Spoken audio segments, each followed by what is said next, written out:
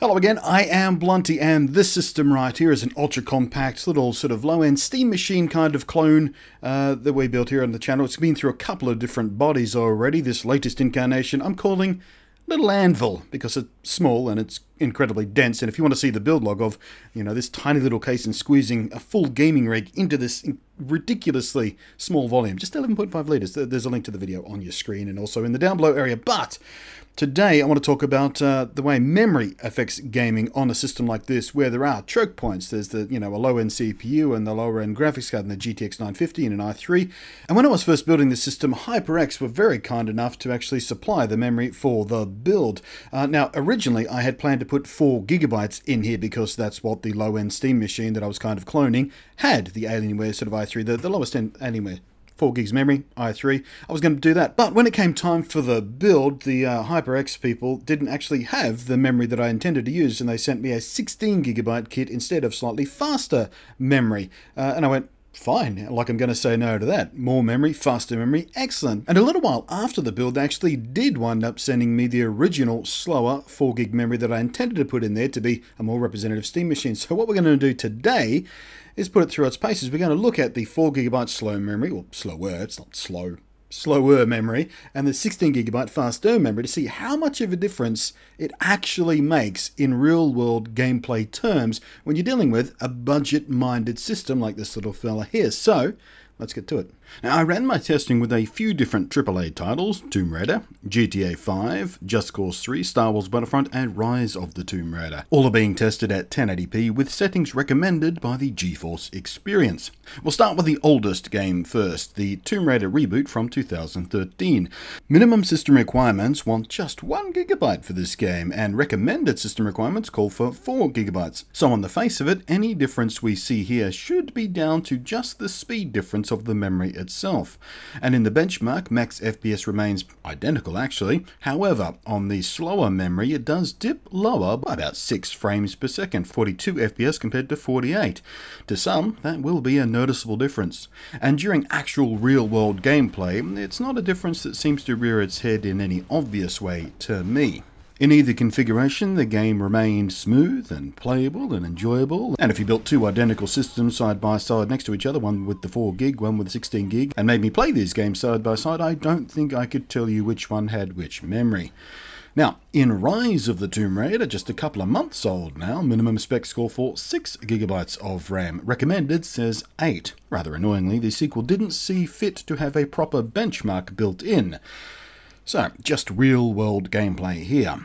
And perhaps in later, more texture heavy portions of the game, the 4GB being below the 6GB minimum would be an issue, but at least in the opening acts of the game, there's no appreciable difference. Seriously, you guys, though, I have to find time to actually play through this game properly so I can use the later, more complicated levels for my benchmarks. But for the purposes of these demonstrations, this does just fine. Now, the much more sophisticated and scientific testing from the clever buggers at Digital Foundry, which you may or may not have heard of, have indeed shown that on low-end systems where an i3 CPU maxing out is a bottleneck, memory speed can indeed make an appreciable difference in frame rate. And that was a very interesting bit of testing, but when a game is set up properly, so ideally the CPU does not max out and create a bottleneck in the first place, it seems the minor difference in memory clock speed that I'm testing with here doesn't have a chance to make a noticeable impact. I mean, sure, it's there if you go looking for it, but as you're playing the game, you'd never know. However, in the next few games I tested, it shows that beyond clock speed, the amount of memory makes a huge difference, and in fact it was a much bigger difference than I had anticipated. Star Wars Battlefront, for example, this game wants 8GB as a minimum, so with the system toting just half that, how do things play out? Well, surprisingly, the game actually runs nicely ish, almost a match for the larger amount of faster RAM. Except at irregular intervals, you'll see massive dives in the frame rate. The game basically hitches completely as the RAM is maxed out and everything in the pipeline has to wait on it being cleared so everything can catch up to itself. Now, the on screen frame rate counter isn't quite keeping up with this phenomenon, but you may be able to see it for yourself, and you can certainly absolutely perceive the difference in how the game feels to play with these little hitches and stutters. It is significant. In fact, it borders on unplayable. Even though, as you can see, the frame rate mostly pings up into the fast Twitch friendly triple digit range. In Just Cause 3, which just like Battlefront wants 8GB as a minimum, interestingly that 8GB minimum is also the recommended figure. But unlike Battlefront, the larger open world and its complex physics engine make 4GB of RAM utterly balk the game beyond playability. Which again, considering it's half what the game asked for, is no great shock or revelation. Frankly, Battlefront working as well as it did with this much memory is the far more interesting result. But yeah, obviously unplayable, so let's move on.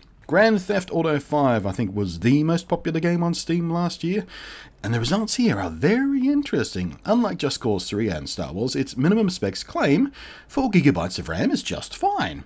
However, as you can see, having more memory makes a monumental difference to the game while sharing identical settings and identical hardware in all other respects. Just like Just Cause 3, a complex physics-driven open world means pushing a lot of textures and other information in and out of memory constantly, and while the nippier 16GB in the i3 rig setup has no issues at all, in fact it runs the game quite nicely, if you starve it of RAM, even while giving it the 4GB minimum at once, the game actually becomes catastrophically unplayable now. Now the settings I'm using do run the GTX 950's own comparatively modest 2GB of VRAM to the ragged edge. In fact, I'm deliberately bleeding over that ragged edge, and there are a fistful more things I could turn down to give the system some more breathing room, but as you can see here in this gameplay from the 4GB setup with a more VRAM friendly batch of settings, the game still falls below what I would consider playable, and what's more, not only is everything turned all the way down. I'm running it at 720p. And there it is. The whole point here was to show the difference the RAM can make. And in this case, it's not so much the speed as it is the amount. Now, none of this is new information, of course, but it's one of those things I've always wanted to try and see with my own eyes exactly how drastic the difference is. You can read all day long in forum posts and things about self proclaimed experts saying this or that about the memory and the memory speed and the amount of memory and all that kind of stuff, but you know, until you do it for yourself, or at least see someone do it in a real world practical setup like I have here, then they're just words, aren't they? And while I expected the results in the Just Cause 3 and Battlefront tests because they explicitly want 8GB minimum, which GTA 5, which flat out claims 4GB will get you by, on this system, even with literally every last graphical option turned down and diving from 1080p to 720p, nothing was enough to get it to a playable state. Only changing the RAM, giving it the breathing room of 16 gigabytes of RAM, not only does it run smooth, but it ran smooth at 1080p, and it ran smooth at 1080p with several of the options turned up to high, and while redlining the VRAM on the GTX 950. So, the long and the short of it is this. In any future system that I build, I'll be overbuilding on RAM. In my main rig that I built about 7 months ago, Devil's Crevice, I chose 8GB of RAM because that's what's widely accepted to be just fine for games. It is at, or above, the recommended specs for pretty much any modern and current AAA title. And in that system I also run a GTX 980 Ti and the top-end overclockable Devil's Canyon i5. So clearly there's not nearly as much bottlenecking potential there as there is in Little Anvil here, with its deliberately low-end budget-friendly specs of an i3 and a GTX 950. But it's very clear from these tests that overbuilding on memory is a relatively inexpensive way to build in an extra bit of future proofing and kick potential performance up several notches. You can see for yourself, plentiful memory can make a vast difference to game performance under certain circumstances.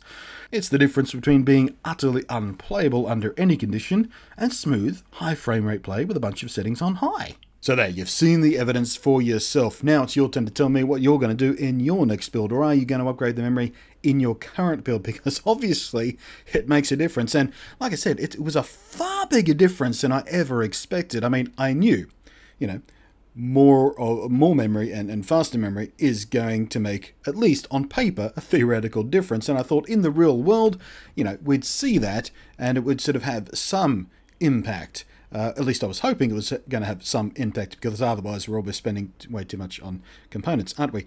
But as it turns out, we're not spending too much on components. In fact, we could probably stand to spend a little bit extra, uh, particularly when it comes to the memory when we're building a system, particularly if you're building on a budget low end system. and You're trying to squeeze out every last drop of performance that you possibly can from your system, trying to keep it, you know, as, as inexpensive as possible. And as it turns out, more memory is a super good way to do that. So there you go. Please do the thing in my down below area to make me happy. I think that was the worst one yet. Thanks for watching. I am Blunty, we'll catch you next time. I hope this has been as interesting for you as it has been for me, because for me it was really interesting.